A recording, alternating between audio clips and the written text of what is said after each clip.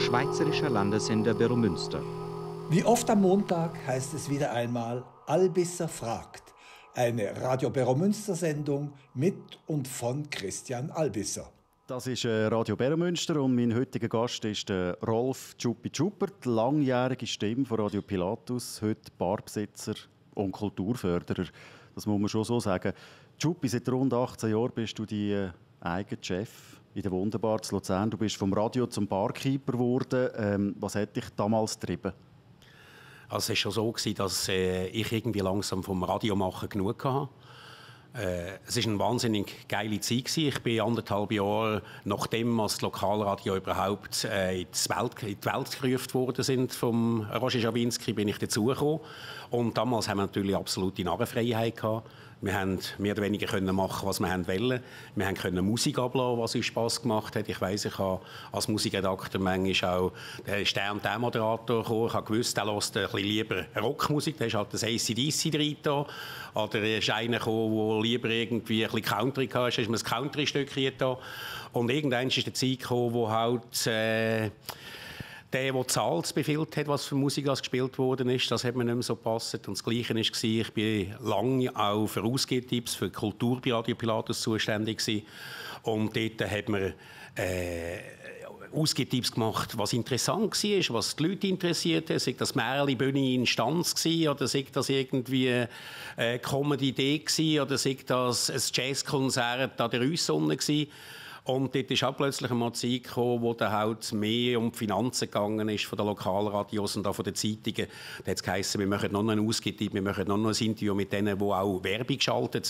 Und dann irgendwann hat man dann gefunden, das ist nicht mehr das, was mir Spass macht. Und ich komme ursprünglich aus einer Beizer Familie, habe mir das zwar ganz früh nie zugetraut und ich stehe eigentlich, früher bin ich lieber auf dieser Seite von der Theke gestanden, aber äh, irgendwie hat mir das immer Spaß gemacht. Da hat es Haufen Sachen, wo mir äh, persönlich Hobby und Beruf haben können zusammentun Ich trinke gerne eins, ich schnorre gerne mit den Leuten. Ich sage viel, ich habe eine Stube mit Bierhahnen und ich kann in meine eigenen Sachen organisieren, sei das zusammen Sport schauen, sei das Konzert, sei das DJ-Übung. Und so hat sich das einfach ergeben. Und jetzt machen wir das seit ein mehr als 18 Jahren. Ich mit meiner Frau zusammen übrigens, mit der Doris. Und es macht immer noch rüdig Spaß. Ich weiss noch die Zeit, wo es darum gegangen ist, dass du die Bar übernimmst. Da haben wir auch noch so ein bisschen gequatscht und so. Und hast gesagt, ja, jetzt machen wir das einmal so irgendwie äh, fünf Jahre oder so und dann schauen wir dann weiter, oder? Jetzt eben über 18 Jahre, also bist du noch nicht müde in dem Fall? Nein, das nicht. Jetzt kommt langsam äh, mein vorgeschrittenes Alter. Ich sage, viele zweieinhalb Jahre werde ich AV-positiv. Aber äh, wir haben, meine Frau und ich haben uns abgesprochen und also so fünf, sechs Jahre wollte ich es noch machen. Eben, es sind 18 Jahre daraus geworden. Also, um, 18. Äh, September sind es 18 Jahre gewesen.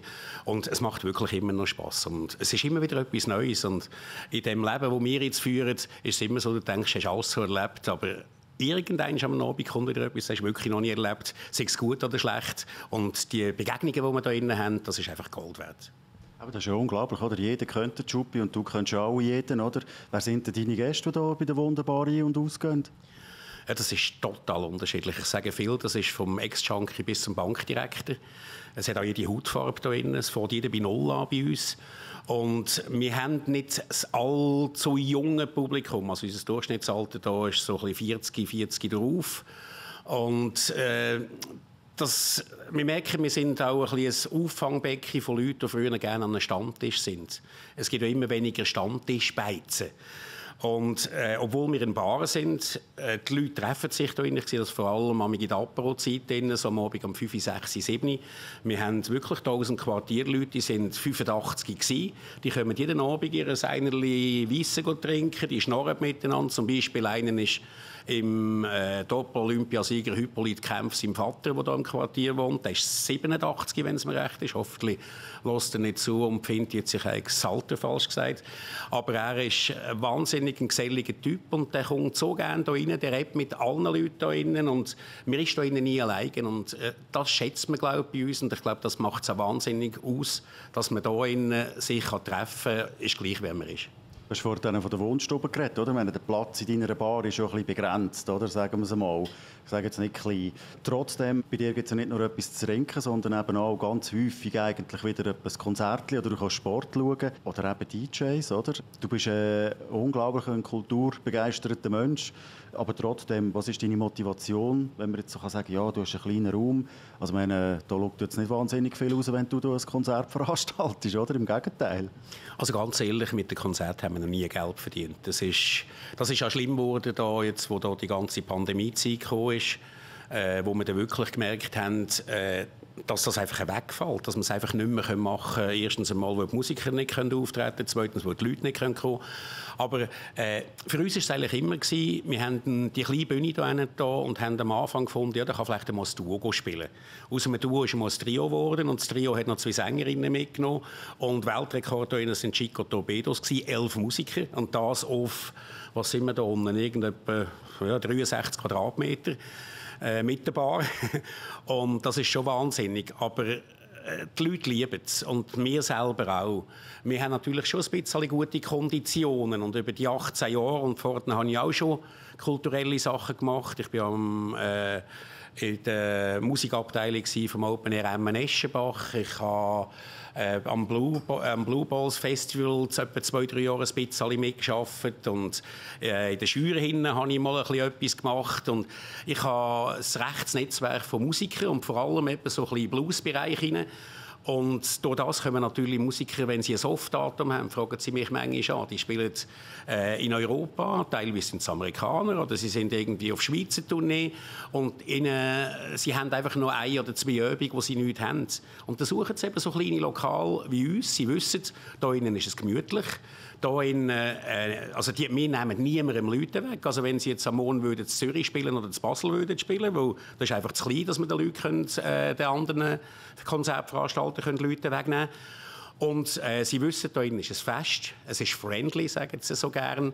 Und durch das kommen sie natürlich teilweise Vergagen, die ich niemandem darf sagen äh, Sie sind froh, dass Sie natürlich fein können essen können, dass Sie eine Übernachtung haben und dass Sie da auch nicht nur ein Bier bekommen, sondern dass Sie auch einen guten Whisky können trinken mit uns. Und da mache ich gerne auch zwischen dir mal mit.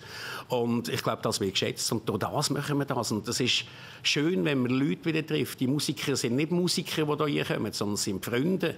Und ich habe auch über das Internet zum Glück, ich habe ein riesen Netzwerk, wo, wo Spaß macht. Ich gehe gerade äh, die nächste Woche wieder auf Berlin Freunde besuchen, Musiker, die ich jetzt schon lange, lange nicht mehr gesehen habe. Und es ist einfach, es ist schön, äh, Freunde hier innen zu beherbergen und dort zu bedienen, wo unsere Freunde auch gerne haben. Du hast es am Anfang eben angesprochen, so die Corona-Zeit, oder? Auf gut Deutsch gesagt, eine Scheisszeit. Seit zwei Jahren, wo wir da dahinter stecken. Der Gastrobereich ist neben der Kultur eigentlich jetzt der, der Bereich, der besonders betroffen ist. Hast du in diesen zwei Jahren nie mit dem Gedanken gespielt, um zu sagen, wisst ihr was, lecken ihr mir alle irgendwo? Mal vor allem im zweiten Lockdown haben wir uns das natürlich schon überlegt, weil wir haben wirklich ein paar 10'000 Franken verloren und äh, es ist sehr, sehr mühsame Zeit. Also wir haben persönlich praktisch keinen Lohn am Anfang bekommen, weil wir ein GmbH haben und äh, zwar selber angestellt sind, aber was uns gehört hat, ist es relativ lang gegangen, bis wir das Geld bekommen Aber wir haben natürlich auch die Verantwortung vom Personal. Also bei uns arbeiten gesamthaft etwa neun Leute aber teilweise wirklich noch kleine Stellenprozent. Wir haben einfach das erste Mal geschaut, dass die vor allem das Geld bekommen.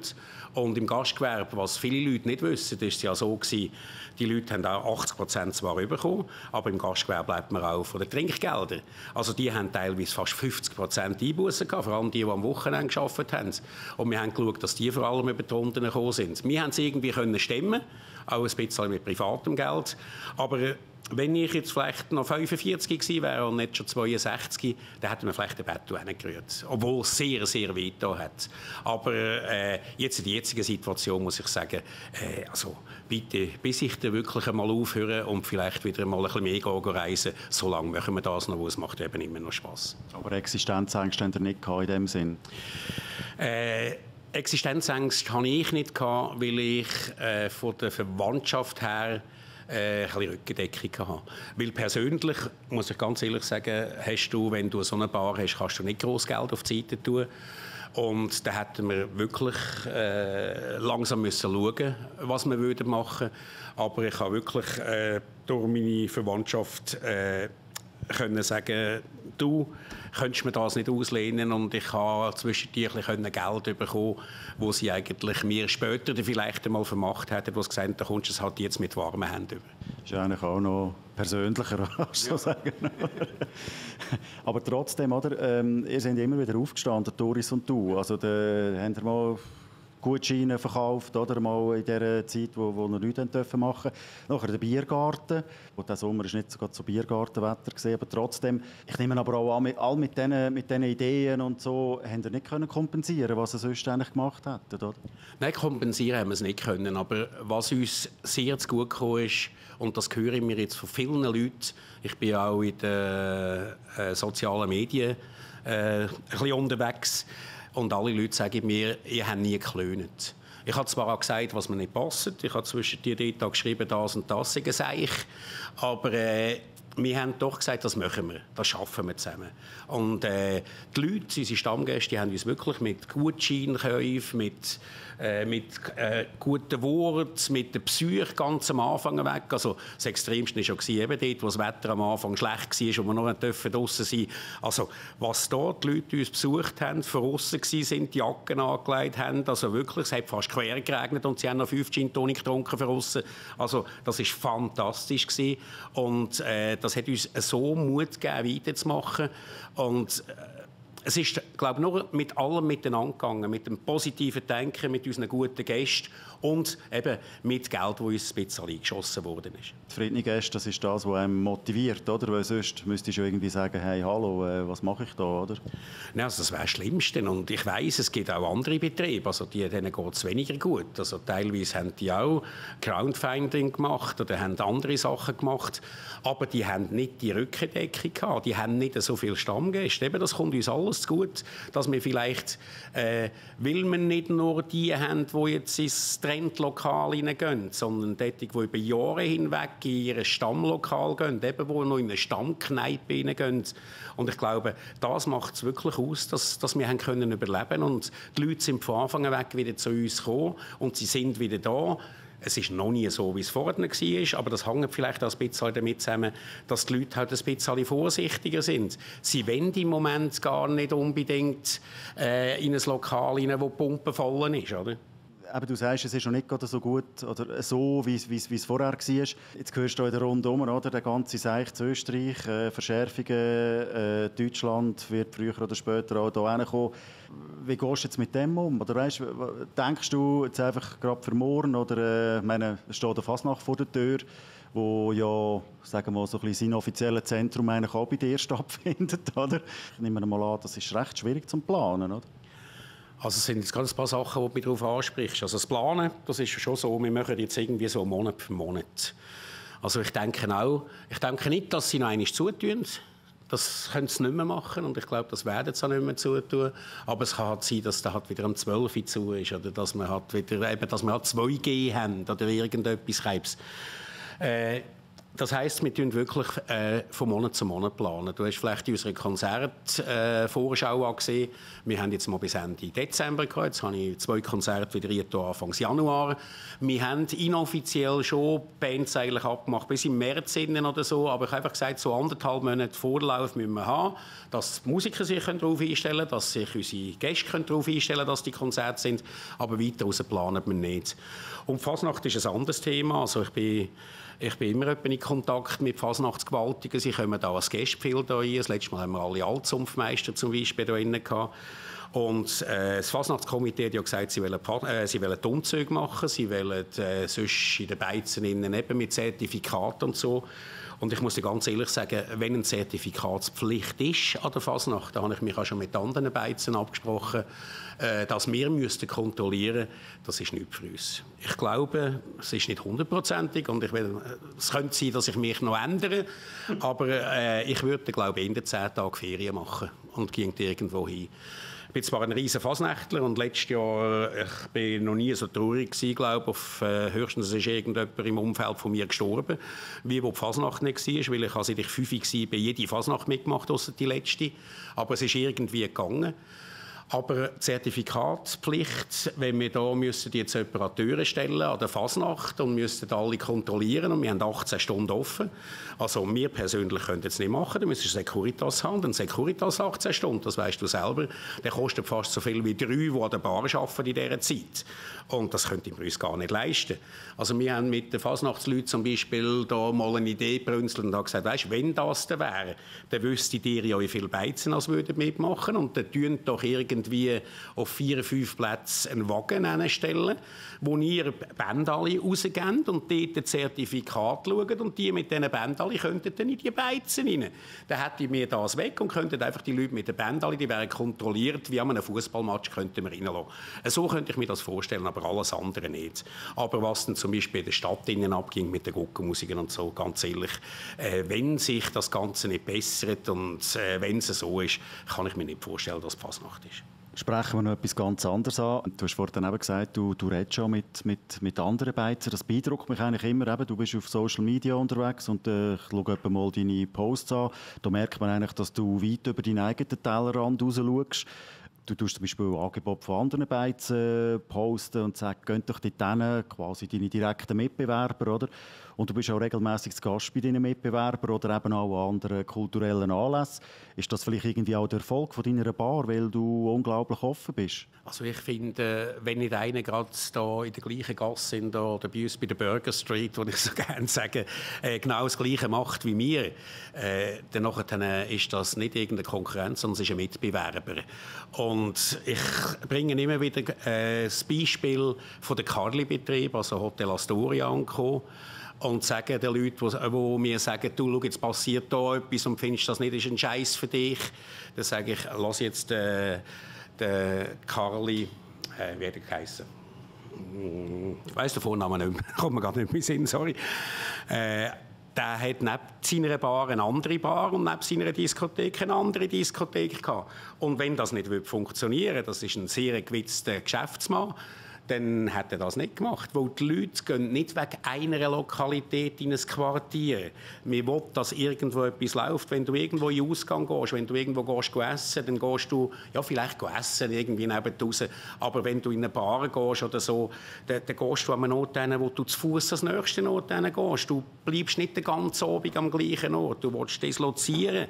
Und das ist sehr, sehr wichtig. Im Kulturellen ist es so wichtig, dass wir den Austausch untereinander haben. Ich gehe gerne in eine andere Bar oder in, äh, in ein anderes Konzertlokal, weil ich schauen wie machen die das, wie läuft das.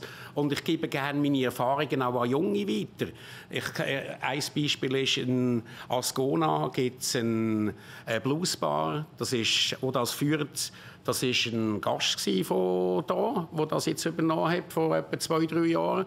Und da hast mich alles gefragt, wie machst du das, wie hast du das gemacht, äh, wie machst du das mit Eintritt, mit Übernachtungen. Und der führt das einigermaßen gleich wie ich jetzt dort unten. Wir haben teilweise die gleichen Musiker, die bei ihm spielen und da. Logisch, Ascona ist weiter weg, als wenn sie jetzt hier in der Bandstraße wäre. Aber ich gebe das gerne weiter, weil es ist ja schön, wenn Kultur weiterleben kann, wenn man das weitergeben kann. Und äh, ich mache äh, da innen ein bisschen Oldschool äh, Kultur. Also die Sachen, äh, da innen läuft auch ein DJ, der Rockmusik ablädt und so. Aber es hat ja alles das gleiche Fundament und ich finde, wir sollten Erfahrungen können weitergeben. Wir sind auch schon auf die Schnauze gefallen und das machen auch Junge.